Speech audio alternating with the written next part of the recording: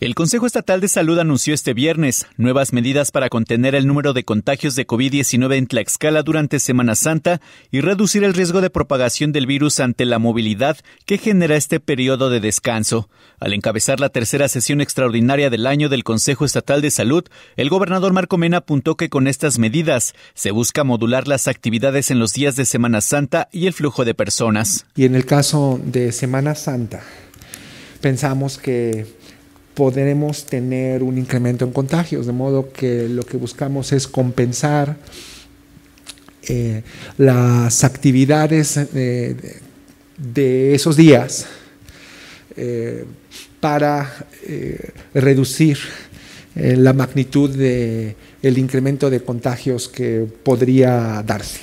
Como parte de los acuerdos del Consejo Estatal de Salud, se determinaron las siguientes medidas aplicables del 1 al 15 de abril. Aforo del 50% en restaurantes y bares, cierre de negocios a las 21 horas, cierre de plazas públicas, centros recreativos y parques públicos. Las plazas y centros comerciales operarán con aforo del 50%. Asimismo, para los días 2 y 3 de abril se establecerá ley seca en el Estado. En este sentido, el gobernador Marco Mena afirmó que estas medidas permitirán contener algunos riesgos Además, en comparación con otras entidades del país, con estos lineamientos Tlaxcala mantiene el equilibrio entre la protección a la salud y el cuidado de la economía local. El gobernador Mena reiteró el reconocimiento a todo el personal médico del sector salud que con su labor brinda atención y la posibilidad a pacientes de no enfermar gravemente. Tenemos que reconocer a todo el personal médico, tanto el personal médico del gobierno estatal como de instituciones eh, como el IMSS,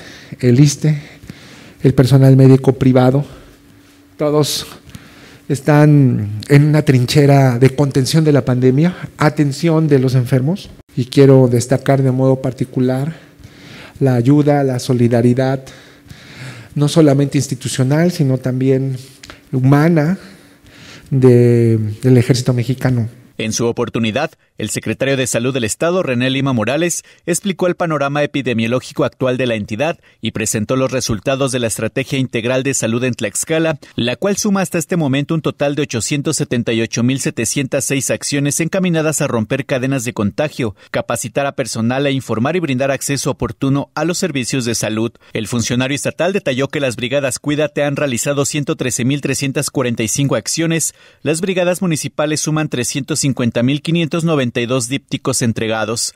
Las brigadas jurisdiccionales han distribuido 7.690 tratamientos y las brigadas Tlaxcala se cuida alcanzaron los 31.300 establecimientos recorridos. A Morales, ahora noticias.